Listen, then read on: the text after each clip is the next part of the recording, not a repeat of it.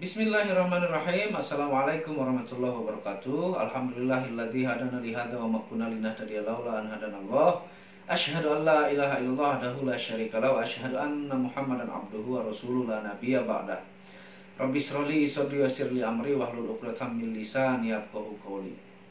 Alhamdulillah bersama saya lagi dengan Muhammad Hamdan Al-Ghazali dalam Tauhid Metafisik. Kali ini Alhamdulillah saya tidak selalu lupa mengingatkan kesehatan yang diberikan oleh Allah SWT Nikmat bernafas, nikmat menggerakkan anggota badan kita Nikmat kesehatan yang kita harus syukuri Semoga semakin membuat kita beriman, bertakwa, bertauhid kepada Allah Subhanahu Wa Taala.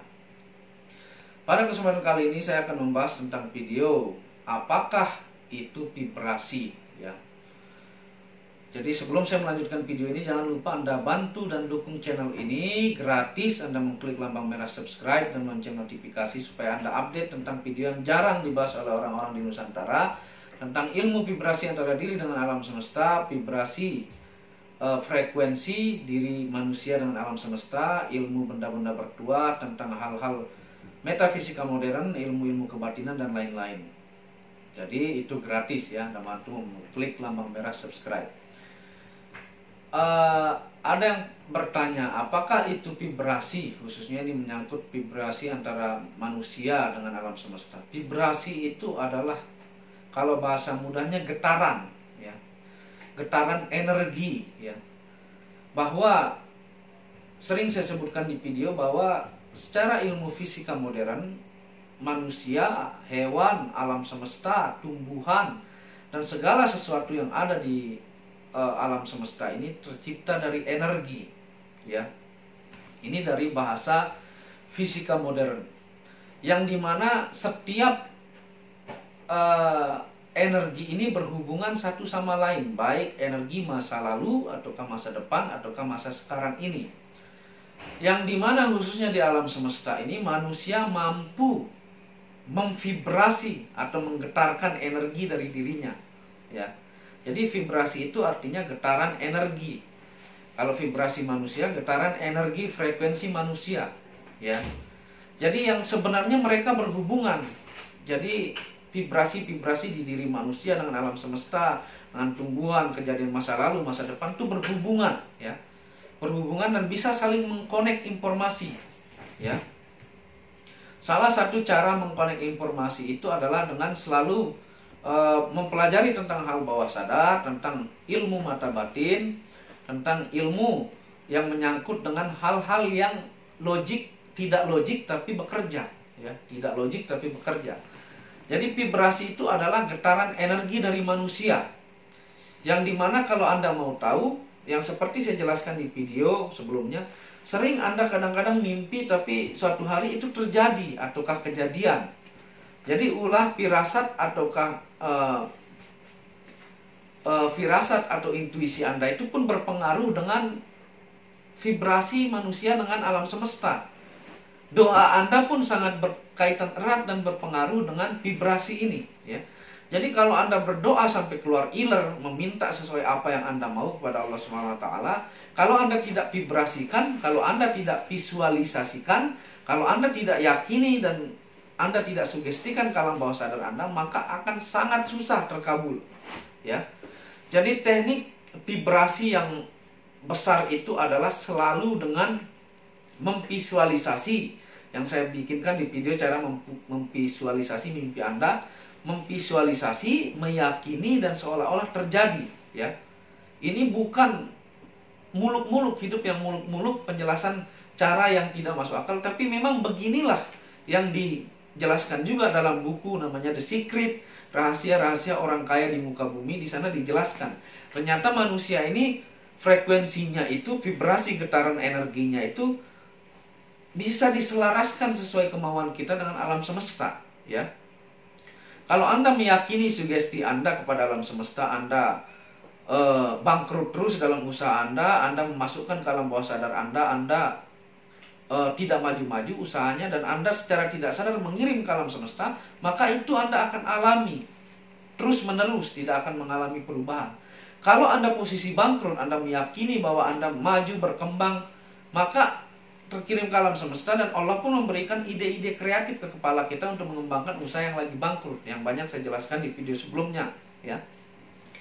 Jadi vibrasi itu sangat berpengaruh penting baik itu ke kemampuan diri anda ke pembatasan kemampuan diri anda ya karena doa ketika anda bilang saya tidak bisa itu tanpa sadar anda menggetarkan vibrasi alam semesta bahwa alam bawah sadar Anda ini menutup kemampuan Anda yang sebenarnya bisa, tapi Anda bilang tidak bisa, itu Anda akan menjadi tidak bisa. Seperti itu ya.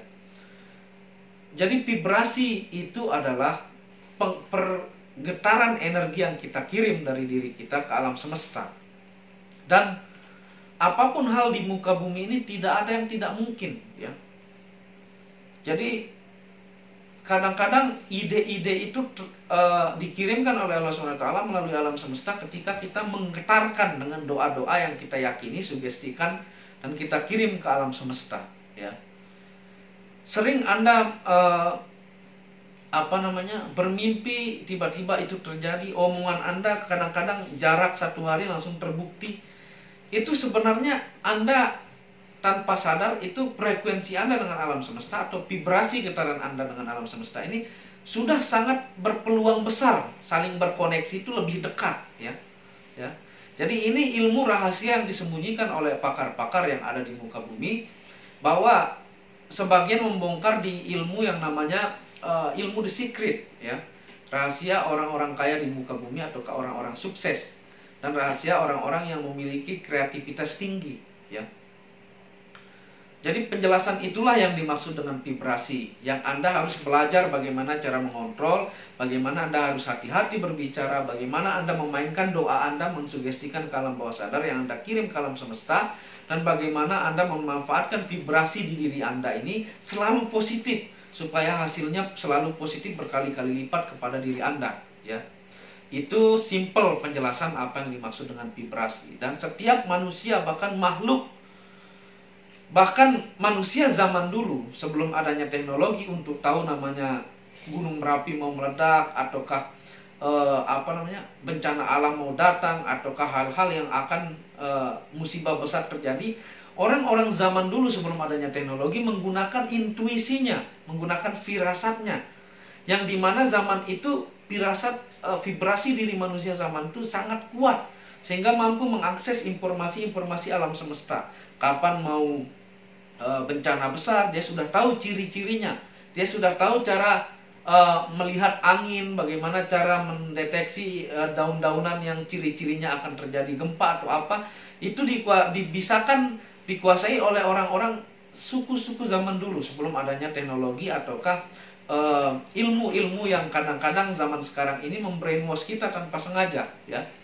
Jadi suku-suku yang terkenal juga yang dibilang suku berkulit merah itu mampu membaca pergerakan alam ya yang di mana juga sengaja dimusnahkan menurut salah satu cerita karena orang-orang ini mampu menghidupkan ataukah memainkan mata batinnya, firasatnya, intuisinya, ataukah kemampuan alam bawah sadar vibrasi dirinya dengan alam semesta, ya.